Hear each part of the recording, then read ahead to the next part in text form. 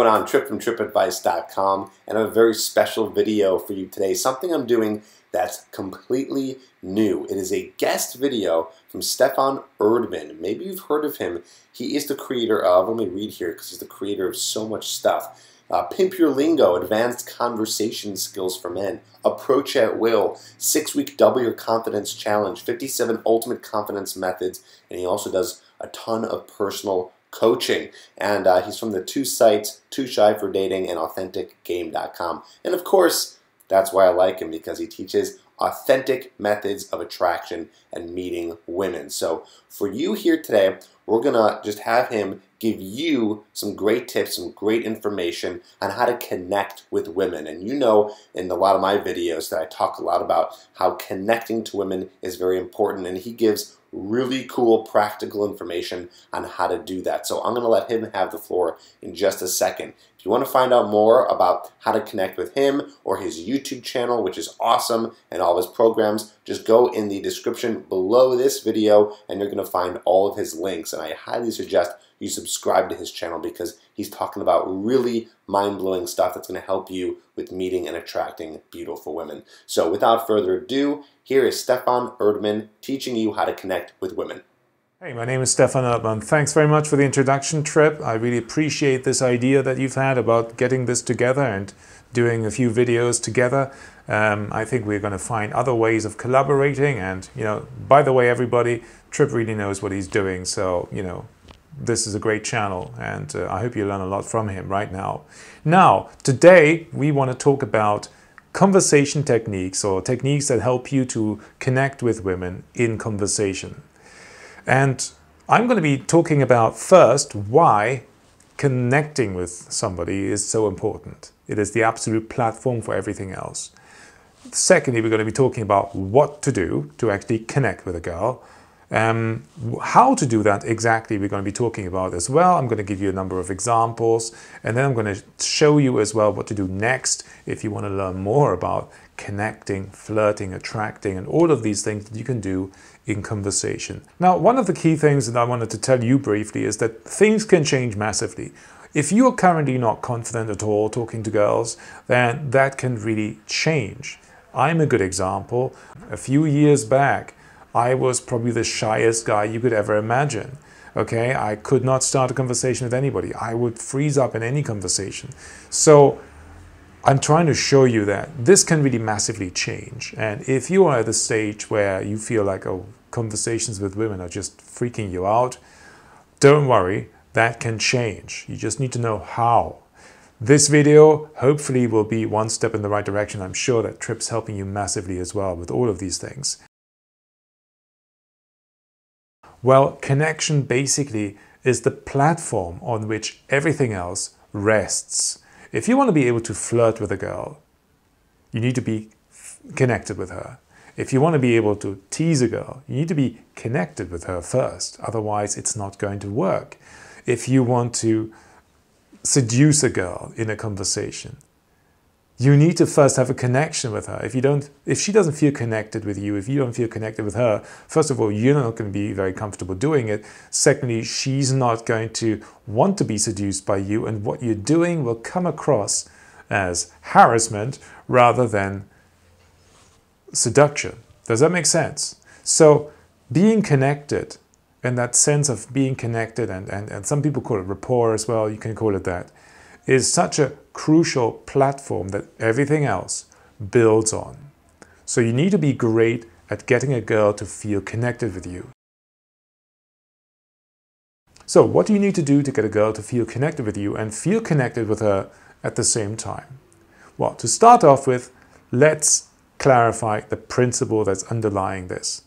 Imagine you're going to a party and there's two people there only, all right? Funny party, right? But let's imagine there's a party with two people and the rest are coming later. Now, one of the guys that you're seeing there, he doesn't look like you, he doesn't sound like you, he doesn't even smell like you, and he doesn't even speak the same language, frankly. He also doesn't seem to behave like you, all right? So he's over there. You look at the other guy, and he looks like you, he sounds like you, he smells like you. he behaves a bit like you, and he kind of just reminds you of you. Now, which of these guys are you instinctively going to feel more connected with instantly? Obvious answer, right? That guy that looks like you, that smells like you, that is just like you. Why? Because, of course, you know, we are connected or feel connected easily to people who are like us, right? So that's the principle. People that we have a lot with in common with, they are the ones that we connect with the easiest. Okay? That's the principle. So like connects with like. Makes sense, right? I mean, that's not mind blowing news, is it? We all know that. I just wanted to point it out. Now, there are all kinds of techniques to make people feel connected with you that involve body language, that involve uh, your voice tone, that invo- involve your face, and all of that. They're called matching and mirroring and things like that. You've probably heard of it, right? But you probably haven't heard about language matching. And that's what I'm going to be sharing here with you in this video. Language matching. Because the principle can also be applied to language, to the words you're using. And when you use it in this way, it's a very subtle but very, very powerful way to make a girl feel connected with you without even knowing how it's happening. She'll just be like, wow, I don't know, I, this guy gets me. And I trust this guy, I don't know why. And she'll interpret it as ease, as comfort, as trust, as connection. And that's when you're in. Okay? And that's when you can build the rest on top. So, how do you use language matching? Well, basically, what it means is you're using similar words to the words that she's using. In other words, you might even use some of her phrases that she's using. You might use her key words that she's saying, uh, that she's using maybe frequently. You might want to choose words that um, she seems to be emotionally invested in specifically, because those are the words that are really key to her. And when you're using the same words back to her, all of a sudden she's like, wow, this guy, he just sounds like me. I mean, he's just like me in some weird kind of way. All right? Now, remember, I'm not trying to get you to become like her or like you know turn into a girlie or anything like that. But um, so it's a very subtle process. I still want you to stay you and all of that. And this is only what we're focusing on is now connection. Okay, not flirting, not breaking rapport, not messing with her, and all of that stuff. Right? So I just want to focus on connection here because if you can do that, you can also break it. All right? Makes sense? So, how do you do this? Let's give you an example. You are both, uh, I don't know, looking at a sunset together, right? And she's standing there and she's going, wow, what a beautiful sunset. Rather than going, yeah, it's quite cool, you might go, it is beautiful. And look at that stuff over there. That's fantastic. I mean, the, the lighting over there, that's, that's even more beautiful. You're using her word beautiful twice in your oncoming sentences, right? How does she feel when she hears those words back? Now, first of all, she's just heard that you're really listening to her, and that makes her feel connected. And then you're using similar language, and especially a key emotional word for her, which was beautiful, yeah, descriptors can be very emotional to people and very personal. And you're using that back. So at that moment, you're, you're really creating a, a deeper connection without really doing anything overt. You're just giving her that sense of, yeah, this guy gets me. Yeah? And that's creating a connection. Let's say you're talking to a girl in a shopping mall and you just started the conversation with her and you're like, hey, how are you doing? And she's like, I'm fine. Um, how are you?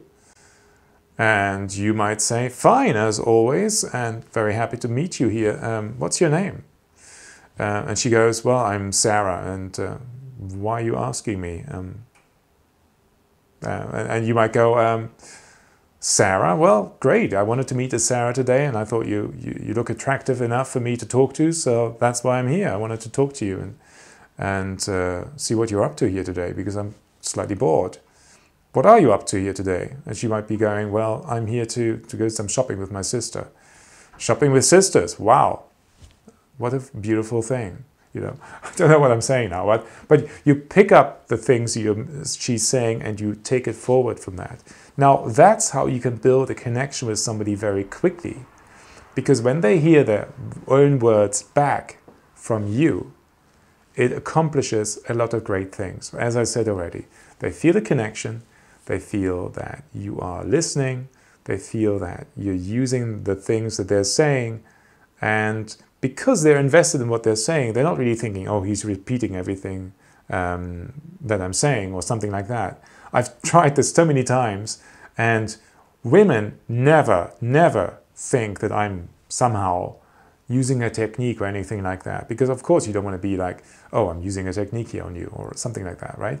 Of course, you don't do it all the time, but when you do it, especially at the beginning, it really, really helps. It also helps you to listen really well because it focuses you to um, listen and uh, pick up some of the keywords.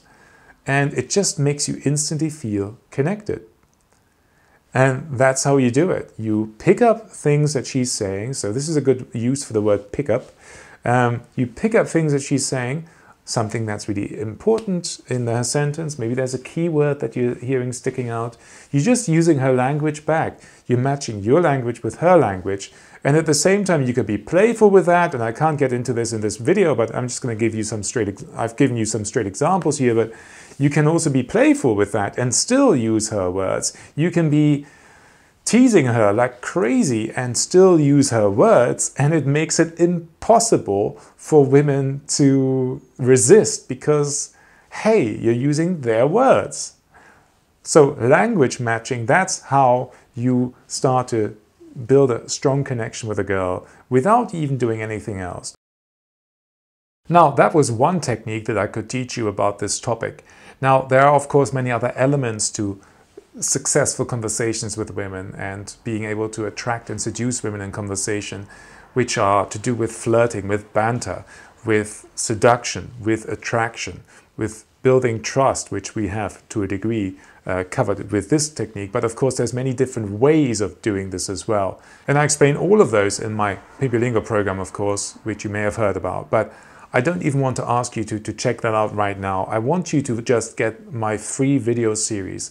Go to pimpyourlingo.com. You get a free video series. The first video is about the three biggest myths about talking to girls.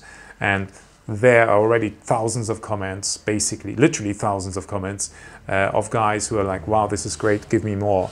And then on the next video, you'll get my Pimp Your Lingo report. Check that out because that will give you two specific techniques that will take this principle I've just talked about and give you techniques to flirt and to connect further.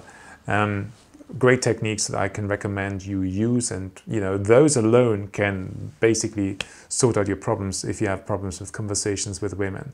There are more videos there in that series, so check it out. They're really great. There's definitely a link here under the video, so go to that link, click there below, and check out those four videos and the special report that you're getting there with these techniques inside. All right. It's been a pleasure talking to you today on Tripp's channel. Um, I really appreciate you listening. Let us know your stories here below because, hey, we might be able to help you with something. And especially the first few days, I'm sure Tripp and myself, we always look at the channel uh, comments on a new video because sometimes we're able to help out, right? Or we get ideas for new videos, which is fantastic. So Thanks for listening. I hope to see you maybe on my channel as well. Check it out and follow the link here under the video. It will be a pleasure to help you further with stuff if you want to learn more from me. See you later. My name is Stephan Erdman. Take care.